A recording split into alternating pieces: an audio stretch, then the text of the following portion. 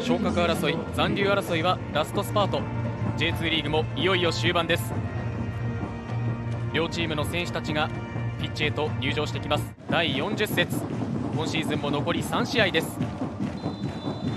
主審の笛が鳴りました。金沢ボールでキックオフです。前半は左から右に攻めるのがホーム。赤のユニフォーム津英元金沢。右から左に攻めます。アウェー白のユニフォーム FC キーパーの白井は左足でクリアしました。林が体を張る。拾った杉浦恭平から流れてきた松本博也。左足クロス。林がヘッド！いや素晴らしい。先制は金沢。林正道。まだまだ決める。満足しない。12点目2つのコンビネーション2人のコンビネーションからのこの松本選手の左足のクロス。これも相当レベルが高いですね。そして最後のヘディングも。17分林のゴールで金沢が先制しています。加藤のキック。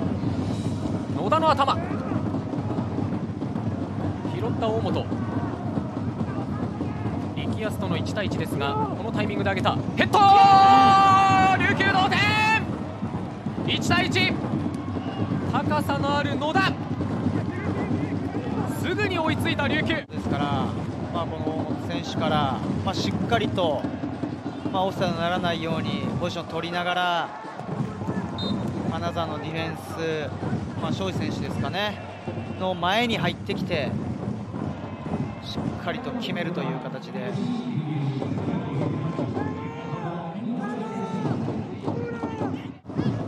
矢印をそこでどこに向けていくか。林のスライディングでしたが福村のクロス。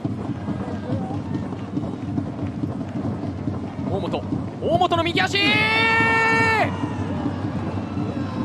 決まった琉球逆転2対1思い切って振り抜きました。というイメージは持ってましたから、はい、そんな中で、まあ、体勢を変えながらしっかりとゴールに向かっていいシュートですね。このシュートも枠に行って。毛利まだ行く。毛利俊也。流して左足、うん、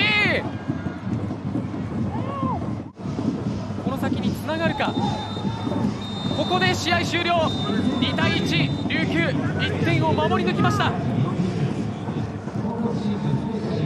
最後まで声を枯らしたナチョ監督。